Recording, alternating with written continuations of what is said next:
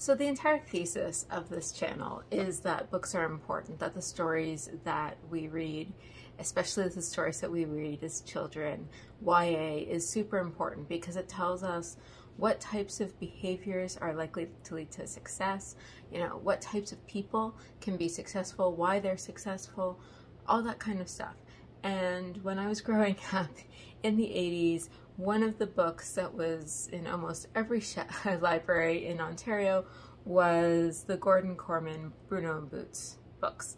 And in particular, I want to talk about one which is called Go Jump in the Pool.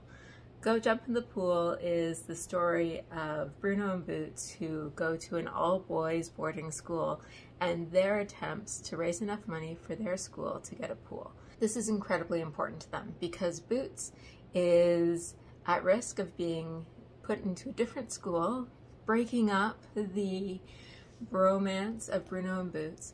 Boots is at risk of being sent to a different school that has a pool because his dad is an Olympic swimmer.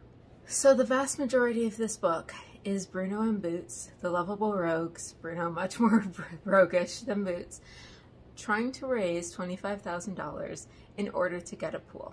And shenanigans ensue. So the poor headmaster is like, how can I cope with all these fundraising activities?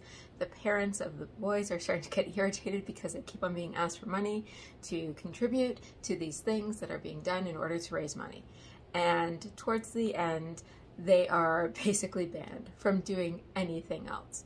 And at this point we have yet another boy come into the fray. So we've had, you know, Bruno and Boots are our protagonists, but there are um, boys throughout the school. You know, there's the artistic boy, there is the science boy, there are all these different types, you know, there's the fat kid. There's everybody has the stereotype boy, and now all of a sudden we have the boy who is into the stock market. Money, said a voice at the next table. Did someone mention money? Bruno and Boots turned to see George Wexford Smith III regarding them with great interest. So again, like the name even tells you that people who are interested in money, who get the stock market, like they're in a completely different class. Like we're already at a boarding school, but like he's the third. Um, We've been trying to raise money for a pool, Bruno told him. I wouldn't expect you to understand that. It's vulgar. So again, like very much othering anybody who's interested in money. But at the same time, like these guys have been like scamming and entrepreneurial the whole way through. George picked up his yogurt and came over to join them. I wonder if yogurt was like a signifier at that time too. Quite possibly. Money, especially in vast quantities, is never vulgar, he said.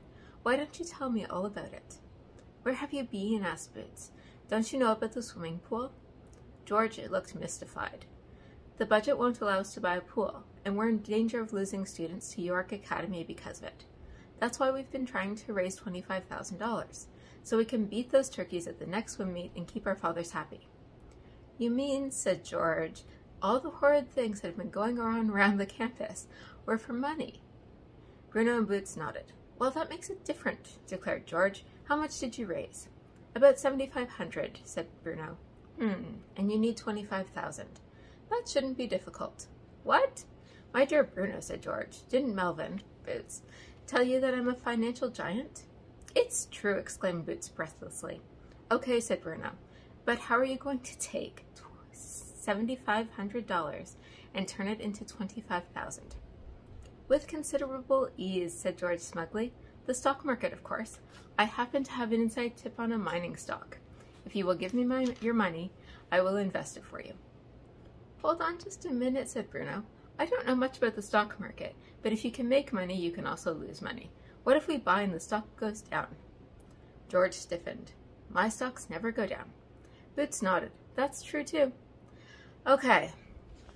So then there are so many things to unpack here.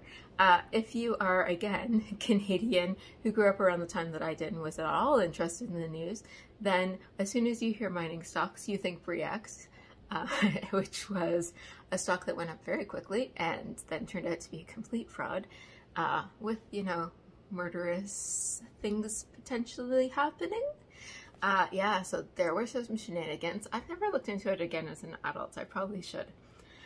But there are some important things that end up happening. So Bruno is much more ambitious and much more risk tolerant, wants to take out all the money at once, throw it into the market, see how it does.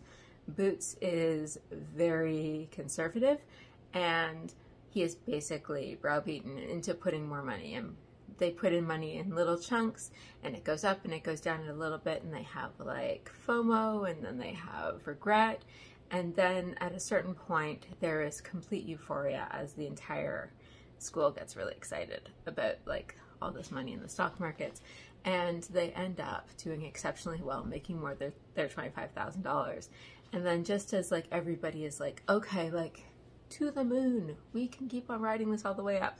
Their stock guy says, no, we're pulling it now. And I think that again, going back to these stories that like we get from books that we read as children, this taught me some bad things. Um, one of them was is that entrepreneurs didn't look like me. It's not that you know Bruno and Boots were male and I'm female.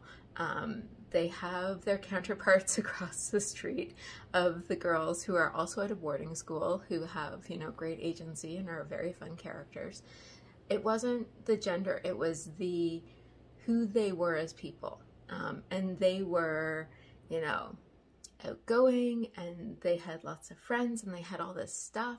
And so the personalities were so different from who I was. I couldn't see how I was ever going to do well as an entrepreneur because I wasn't that type of person. Similarly, they did well in the stock market, but they only did well because they had an inside tip and they knew somebody who was really geeky on the subject. And I was obviously neither of those. So again, looking at investing as something that was for other people, not for myself, and looking at like those big opportunities as something for others. Actually probably ended up being pretty good for me because I ended up deciding that like something that was closer to indexing made more sense. And even before i understood what indexing was i was going down that path of i'm not trying for the big wins. I'm like going to go for like the slow sustainable wins that are like in keeping with who i am. But i don't think that's just luck that wasn't um, something that was supported by the stories that I was reading as a child. The stories I was reading as a child was that I was going to be a stick in the mud and, you know, I was going to just always have to grind it out. And that's not true either. So, this is just a place where I think that the stories that we read as a kid, which then connect into the narratives that we tell ourselves and the narratives that the rest of the world tells us, really can compound into something that's not so positive for us. And it takes a lot of time to unpack later on and figure out that actually there are ways to be successful, even if you aren't the popular one, even if you aren't the outgoing one, even if you aren't the person who's willing to take a lot of risks. There are lots of ways to still do well and to mitigate those risks that, like, don't get into YA novels because they don't tell the same kind of fun story. So this book was obviously stolen from the library because it still has one of those little envelopes with the cards in the bottom. But uh, I don't know which of us it is because uh, it isn't signed out in either of our names.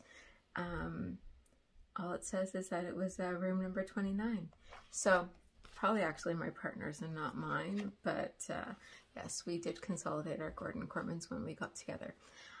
I don't think that Go Jump in the Pool is my favorite Gordon Korman. I think that I much prefer Beware the Fish, which has like this whole spy motif going on, and also The War with Mr. Wizzle, which is the story of how much they hated their computer science teacher, which is a trip because like damn, computer science in the 70s and 80s is different than today. Anyways, thank you so much for joining me. Uh, what books did you take the wrong lessons from uh, that you read as a kid. Love to hear about it. As always, take care and talk to you again later. Bye. I do wish that at the end of this book there was that recipe for the apple horseradish cake. That could be fun. Uh, I also haven't looked in Google to see if anybody's got one of those up and out there. So um, maybe one day uh, when we've got some extra apples floating around, I'll try to do that.